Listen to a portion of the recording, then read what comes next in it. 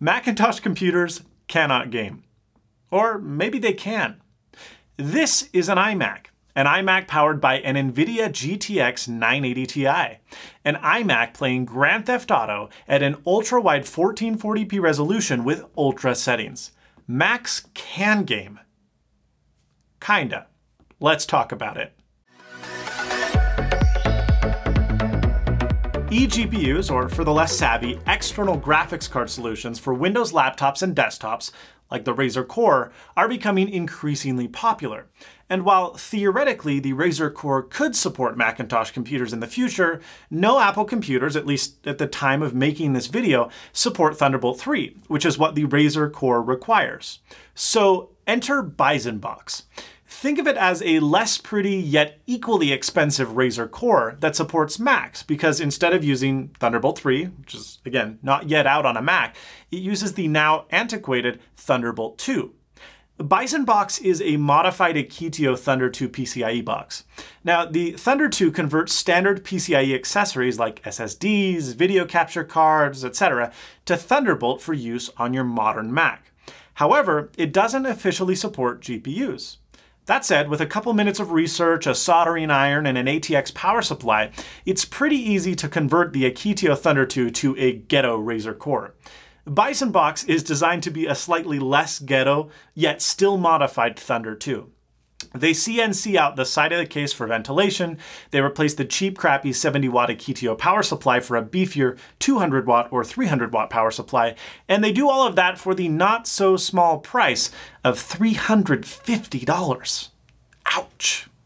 So let's pretend for a minute that that $550 price tag is not a barrier to entry for most people. How well, technically speaking, can an external graphics card work on a Mac? Now, my buddy Tomas Villegas has a superb video, which you should definitely check out. And he talks about how BizonBox performs in Mac OS X using applications like Adobe Premiere and other apps that benefit from CUDA acceleration. And I don't want to spoil his video, but the results favor the eGPU quite a bit. But I wanted to talk about gaming. Now, naturally, most modern video games are Windows only because DirectX. And so I installed a Windows Boot Camp partition onto my Mac Pro, I plugged the GPU in, and what do you know? The machine wouldn't boot. Nothing happened. So I went to Bizon's website and it turns out that there is a long laundry list of compatibility issues.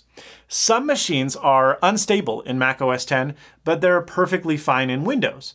Many machines, like my Mac Pro, would not boot into Windows, but we're pretty okay in Mac OS X. And some machines flat out will not work in uh, either OS. In fact, most all recent Mac computers have at least some kind of issue with BizonBox, so it's certainly not well supported or bulletproof. The only Mac that I have access to that seems to have little to no issues is the 2014, not 2015, the 2014 5K iMac. So away I went installing Windows onto my 5K iMac. And when I booted it, I had an issue. Windows would recognize the graphics card, but it wouldn't actually do anything until I plugged in a secondary display. Because the iMac 5K has discrete graphics, in order to take advantage of the graphics card, you need a second monitor which is absurd. So ignore the impracticality, enormously high cost, and compatibility issues. We want to answer, can a Mac even game? I mean, I've got a 5K iMac screen, I've got a 1440p screen. It's ridiculous, but does it work? Yes. So I tested two cards, the GTX 1060 and the GTX 980 Ti. Now on GTA 5 with these settings maxed out on 1080p, the GTX 1060 performed a 96 frames per second average on PC and 82 frames per second average on the Mac. So less performance, but not bad at all. Much better than the unplayable 22 FPS average I was getting with the max internal AMD M295X graphics card. Now, the GTX 980 Ti, however, was a different story. With the same game, uh, same settings, the 980 Ti clocks in at 147 FPS on my PC benchmark test, and a mere 88 frames per second on the Mac. So that's only 60% of the total performance I was getting on my computer, my PC.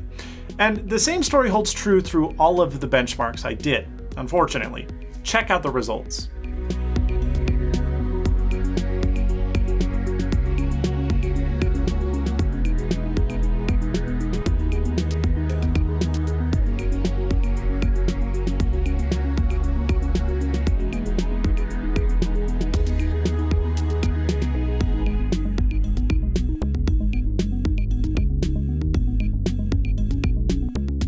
So you can technically game on a Mac, but I sure don't recommend it.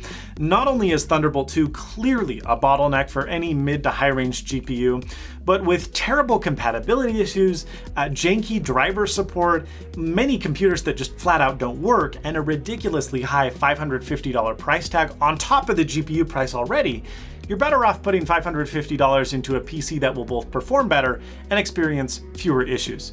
Or Mac fanboys, you can stick to your PlayStation. I guess that works too. If you'd enjoyed this video, I would appreciate a thumbs up and a like. If you thought it was crap, that other button seems to work okay too. If you're interested in more tech videos like these, get subscribed to the channel for more awesome content. But most of all, thank you for watching, and as always, stay snazzy.